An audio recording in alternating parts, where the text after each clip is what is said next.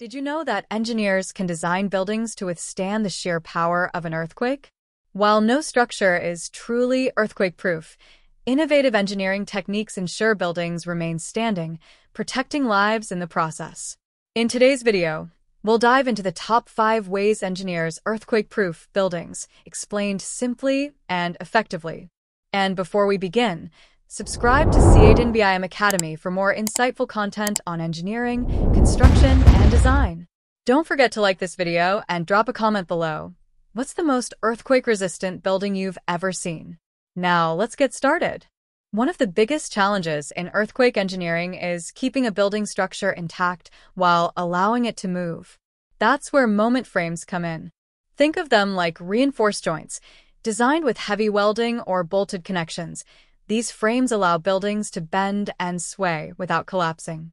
They're great for open concept designs because they don't require walls or braces, making architects love them.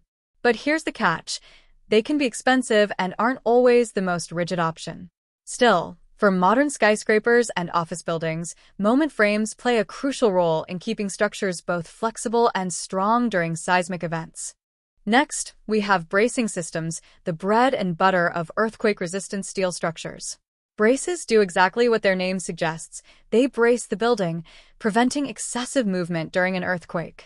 Engineers often design them as the fuse of the building, meaning they absorb the earthquake's energy so that more critical components, like columns and beams, stay intact. Want proof? Imagine bending a paperclip back and forth. It takes a lot before it actually breaks. That's exactly how bracing systems work. They absorb force and deform before failing, keeping the rest of the building safe. The downside? Braces can obstruct architectural designs since they take up space.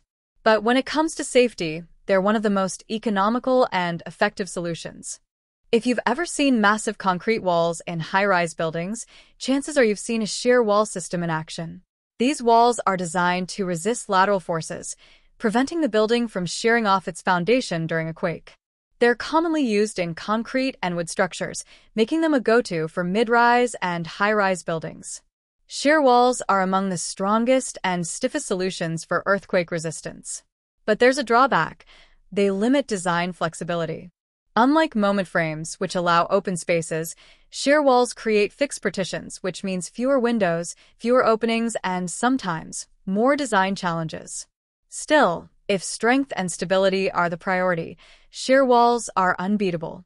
Ever seen a skyscraper with a massive water tank at the top? That's no accident. It's a seismic damper in action. Dampers are designed to reduce vibrations caused by earthquakes. There are many types, but one of the most fascinating is the liquid-filled damper. When an earthquake strikes, the liquid inside sloshes in the opposite direction of the building's movement, effectively counteracting the shaking. Think of it like holding a glass of water while walking. The water moves in response to your motion, helping stabilize the glass. Engineers apply this same principle to skyscrapers, using dampers to absorb energy and reduce swaying. This technology is particularly useful in tall buildings, bridges, and towers, ensuring occupants experience less shaking during an earthquake. And finally, at number one, we have seismic base isolation, perhaps the closest thing to truly earthquake-proofing a building. This ingenious technique involves placing bearings, rollers, or rubber pads beneath a building, effectively lifting it off the ground. Instead of the entire structure shaking violently during an earthquake, the isolators absorb and dissipate the energy, allowing the building to move independently from the ground motion. Imagine standing on a skateboard. If someone pushes the ground beneath you, you don't fall over. You simply roll with it. That's exactly how base isolation works. While this technology is highly effective, it's mostly used in high-profile projects like hospitals, historical landmarks, and critical infrastructure. The cost is high, but when safety is the priority, base isolation is a game changer. And there you have it.